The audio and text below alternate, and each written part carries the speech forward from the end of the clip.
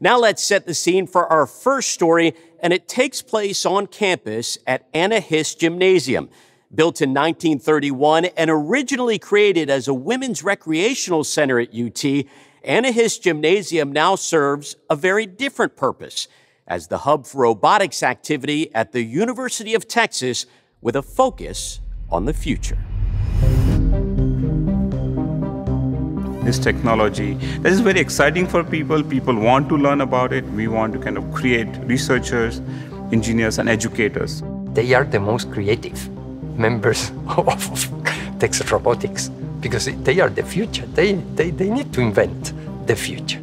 In 2019, construction began to renovate Anna Hiss Gymnasium as the new home of Texas Robotics with a goal of uniting robotics efforts at the University of Texas, led by Dr. Peter Stone. When I first got to the university here back in 2002, I was one of only two or three roboticists all across campus. But gradually over the next few years, different departments started hiring people who were getting involved in robotics. We got together, several of us, and decided that it would you know, make sense rather than just having our own robotics labs, our own robotics pockets at different parts of the university to try to band together. Texas Robotics now includes 16 core research labs and faculty, 40 affiliated faculty, and over 150 student researchers. It's a cohesive group that, that's all you know, sort of working together with the single purpose of becoming the best robotics group of people, group of faculty in the world.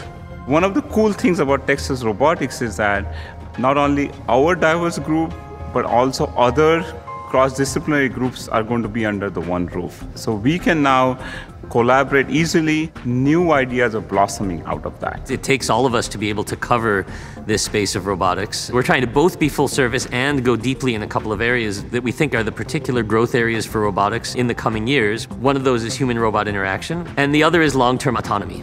How do we get robots to be turned on and stay on and operational in a uncertain environment for, for very long periods of time?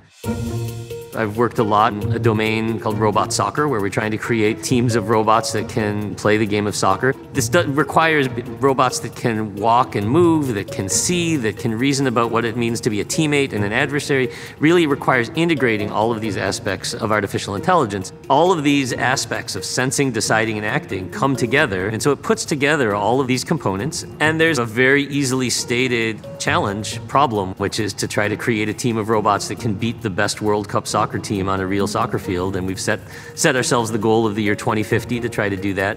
In addition to artificial intelligence, Texas Robotics focuses on helping humans with everything from surgeries to recovery and rehabilitation. Our mission in the new robotics lab is to design robots that can physically connect with the humans. And the goal of this physical connection would be to enhance human capabilities or help recover some of the human capabilities. We would like to use these robots to improve how workers in factory perform actions so that they can avoid injuries or avoid fatigue. We want to use robots so that astronauts can get exercise they need in space with our robotics technology. And we're also designing robots to improve quality of life for stroke patients who may need physical therapy for long periods of time. Okay, so what you see here is Hossein controlling the hand motion of Hope using brain signals. And now he's trying to close the fingers. This technology can be used to help people with neuromuscular disorders who have a healthy brain but broken muscles to get control of their muscles and be able to move around and do activities of daily living.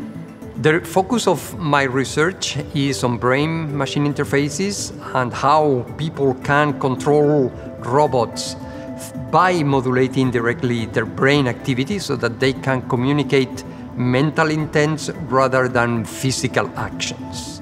The main reason to do so is to help people with severe motor disabilities who have lost control of their body. Provide them with assistive devices that will execute the actions that they can't. For example, mobility. They are sitting on a wheelchair and they are controlling the wheelchair to navigate in their environment.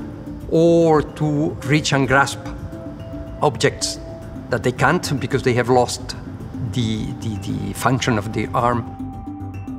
Robots are here to augment us, to help us, not to replace us. Texas Robotics has been a quantum change of the way we operate as faculty.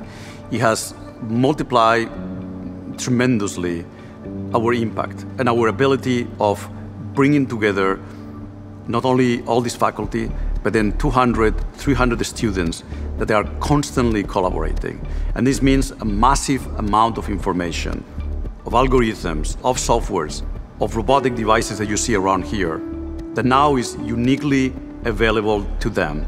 We're now set up for Texas Robotics to be a leader for years, decades to come, and that a lot of the advances, I think, in the whole field are going to come from this, from this building.